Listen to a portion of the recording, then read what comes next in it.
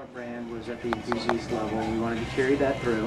How do we keep? How do we differentiate a system in the marketplace of boutique high-performance systems? You know, you had Voodoo, who's now subsumed into HP. You had Alienware, who really is just kind of mainstream stuff now, and and doesn't appeal to um, everybody necessarily. And so there's no Wow. cables going out the Nice. back. And the way we did that is we turned the chassis internally 90 degrees so that all the cables are running out the back. And if you look under the, in the little stand here, you can see kind of what, how we did that. So we have a little uh, channel guide there, and all the cables are coming out the bottom. Uh, if you tilt it forward, that easily sli- slides off. So if somebody needed to change a network cable Okay. or a monitor cable, you could do that.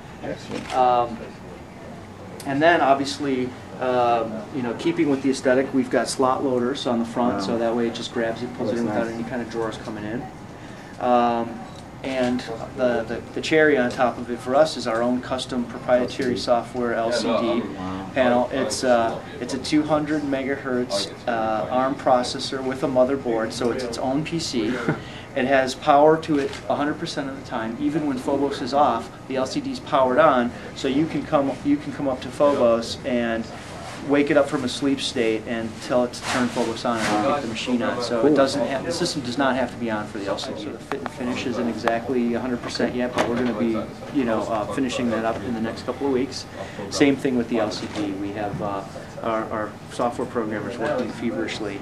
So, um, and as we go through it, just to give props, Graham Brown is uh, sitting on the couch over there. He's our European marketing manager. He does all our character design, all our websites. He's my rock star, and he also designed this interface, and so he's been working with the software engineer. So, and we designed it all in house. None of this is uh, uh, store bought. You can't get this anywhere. Um, and so what we decided was let's let's come up with a happy medium between you know, we're, we're selling this to the kind of graduated gamer, the guys who aren't do-it-yourselfers, but they still are enthusiasts. Like I am, I'm a hardcore gamer. I love console, but I also like PC. But I couldn't really build my whole system, and so there's a certain level of specs I, I care about and stuff, and then there's a whole geek, another geek level. So we wanted to try to find a happy medium of that.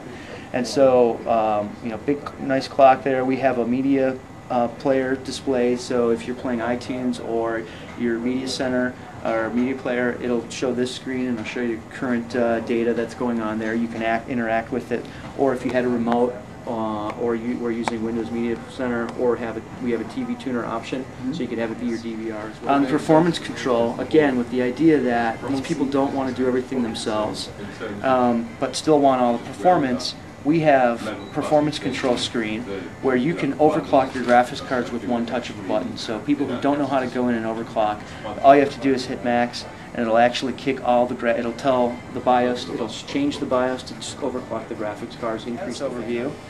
And again, this isn't 100% finished, so there's a little tweak, so forgive us for that. Um, we have our graphics cards with the uh, primary, secondary, up to three graphics cards with all the uh, core shader and memory clocks in real time. So if you do overclock it, you'll see those clocks change as you overclock them.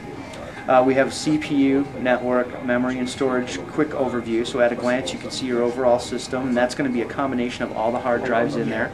If you drill down into the storage view, uh, it's still a little wonky right now. We're cleaning that up, but it'll basically go out and uh, ping all your hard drives and display them up here, and uh, even thumb drives and everything. And it'll add extra pages if you keep adding external hard drives and things like that. But you can drill down in into, uh, and again, this will be a pie chart actually instead of a bar graph. But uh, it'll show you your used and free memory, and it also show your smart status to show the state and the health of your hard drive. And if it's bad, it'll actually have a little exclamation point up here that'll warn you that you should replace your hard drive or call us and we'll come out and replace it for you. So hopefully we'll save people's data. And then it also has disk uh, defragmentation. So if it tells you if you need to defrag your hard drive, if you do, a little button will appear here, defrag now. and You'll be able to press that and it'll actually defrag that specific hard drive. So, uh, sick you know, but physical and virtual memory histograms shows you all your speeds and timings.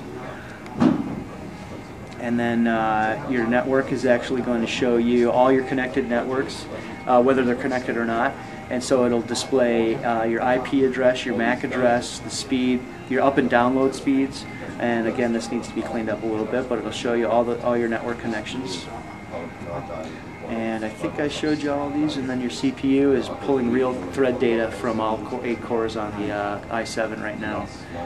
And um, so in addition to that, uh, we think, you know, having that, we've got also, this will pop up, you press down and this will pop up. You also have dedicated hard uh, reset and, and uh, on-off buttons, a multi-card reader, SATA drive, uh, two USBs, a FireWire, and a headset uh, connectors if you need them. And then obviously an iPod slash iPhone dock, just so it's all kind of a wireless syncing.